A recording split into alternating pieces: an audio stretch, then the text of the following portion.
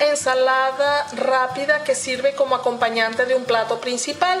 Ensalada de brócoli con zanahoria y plumitas. Entonces vamos a comenzar agregando un chorrito de aceite de oliva.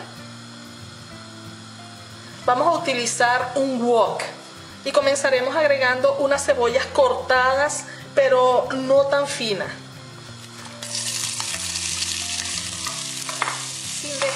Que se cocinen mucho porque esto es rápido y queremos que la cebolla quede crujiente, vamos a agregar una taza de plumitas cocidas.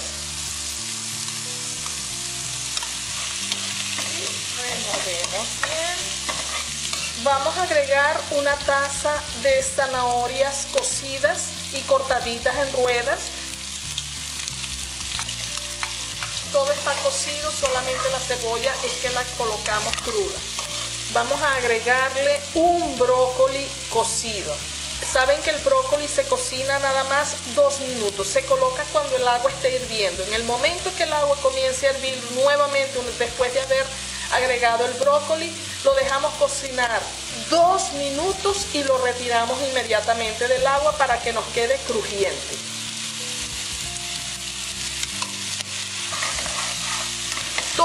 Estos ingredientes fueron cocidos con una pizca de sal. Por lo tanto, vamos a agregarle solamente una pizca más de sal.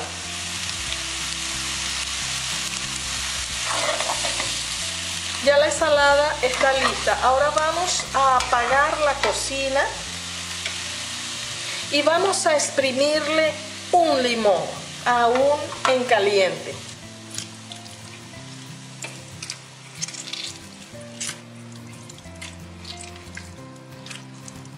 Si quieren hacer dieta, es lo mejor que pueden hacer para acompañar cualquier carne cualquier plato de ave, cualquier plato de pescado.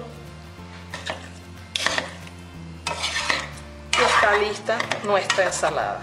Ahora la servimos y a comer delicioso. Vamos a acompañar un salmón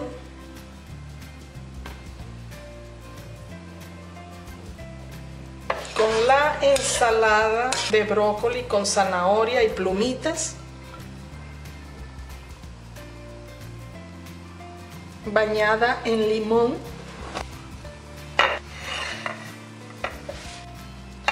Y aquí tienen este plato maravilloso de ensalada de brócoli con zanahoria y plumitas que nos sirvió para acompañar un lomo de salmón en este caso.